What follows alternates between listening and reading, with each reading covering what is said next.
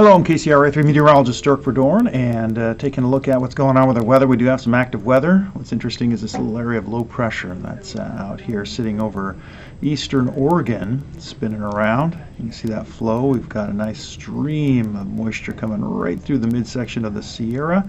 And then we've got that wrapping around this area of low pressure. Now what's happening as this, slides a little bit farther south, we're going to see some of those northern winds that come wrapping around it.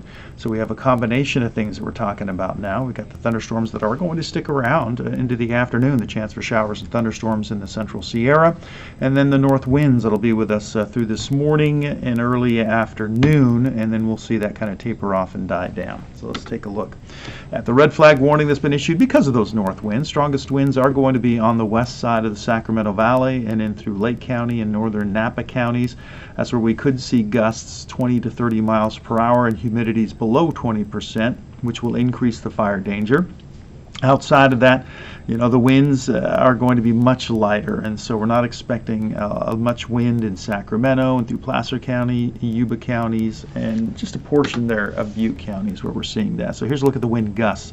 And so you can see wind gusts, those areas of green showing up from uh, this morning uh, anywhere from 10 to 20 mile an hour gusts. The areas of yellow are where we could see wind gusts up over 20 miles per hour. And so they're very isolated areas. This is not a widespread event. And so it's these areas that we're expecting to see the greatest uh, uh, drops in humidity. And so things are going to be much drier.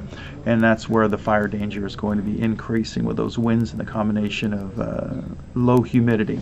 As we go through the morning, you can see that that just kind of switches. We can see those north winds kind of shift more to the north, and then we get more of the onshore flow coming in. So by uh, later on in the afternoon and early evening, you can see that we have winds coming through Fairfield at 25 miles per hour. Those are very typical. That's bringing in higher humidity because it's coming from the ocean, and so that's going to be a shift in our situation as far as the direction of the winds go. But you'll still see from Glenn County north from Butte County north, those north winds, which are the drier winds, which cause the greater fire danger. So we'll see that shift as we progress through the day today. Futurecast showing us also the shower activity in the Sierra. And you can see that that extends from Tuolumne County up through uh, El Dorado County in the higher elevations as well. We'll see the best chance for that. We'll see these showers and an occasional thunderstorm could pop up and that's going to be through this afternoon. Here we are 4.30 p.m. and you still see some of those showers that are popping up on the west slope of the Sierra.